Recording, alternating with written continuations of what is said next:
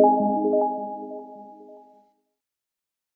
انضم نادي الرجاء الرياضي إلى قائمة ال 12 فريقا مغربيا ممنوعا من القيام بالتعاقدات خلال مرحلة الانتقالات الصيفية المقبلة بسبب كثرة ملفات النزاعات الموجودة لدى الاتحاد الدولي لكرة القدم فيفا ومحكمة التحكيم الرياضي كاس. وقررت لجنة النزاعات التابعة للاتحاد الدولي لكرة القدم فيفا اليوم الخميس ضم الرجاء الرياضي إلى قائمة الأندية الممنوعة حتى الآن من التعاقدات بعد صدور حكم جديد لفائدة الحارس الجزائري غاية مرباح ضد الرجاء. وتأخر مسؤولي الفريق الأخضر في تسوية النزاع في الموعد المحدد قبل أن يلزم فيفا الفريق المغربي بتسديدها قبل المشاركة في الدوري أبطال أفريقيا. وأصبح نادي الرجاء الرياضي المغربي ملزما بتسوية وضعيته المالية عبر تسديد ديون النزاعات التي صدرت بشأنها أحكام نهائية سواء من الاتحاد الدولي لكرة القدم فيفا أو محكمة التحكيم الرياضي كاس حتى يسمح له بالمشاركة في مسابقة دوري أبطال إفريقيا الموسم المقبل إلى جانب نادي الجيش الملكي.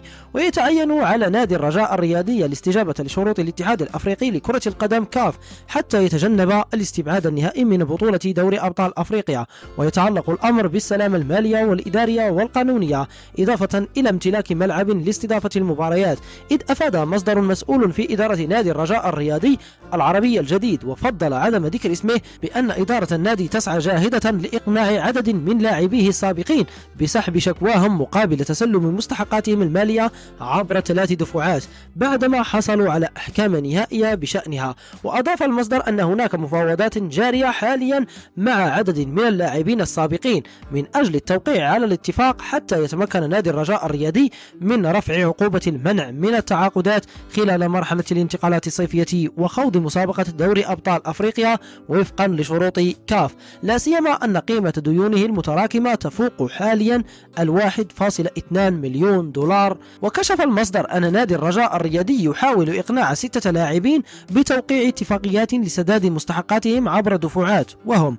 وليد الصبار 210 آلاف دولار مروان هدهودي 420 ألف دولار حمزة مجاهد 220 ألف دولار جمال حركاس 160 ألف دولار أنس الحداوي 112 ألف دولار غاية مرباح 45 ألف دولار. وكشف موقع العربية الجديد على أن قيمة الديون المتراكمة حتى الآن ارتفعت إلى 35 مليون دولار. بعد أن كانت 29 مليون دولار الصيف الماضي ما قد يهدد عددا من الأندية بالإفلاس حيث يعد نادي الرجاء الرياضي الخاسر الأكبر من قرار حرمانه من التعاقدات الصيفية نظرا إلى حاجته لتدعيم صفوفه بلاعبين كبار حتى يخوض النسخة المقبلة من منافسات دوري أبطال أفريقيا بطموح التتويج باللقب علما أنه غاب عن المنافسات الأفريقية خلال السنتين الأخيرتين بسبب تراجع نتائجه في الدوري المغربي. يذكر أن نادي الرجاء الرياضي يحتل المركز الثاني في مسابقة دوره المحلي برصيد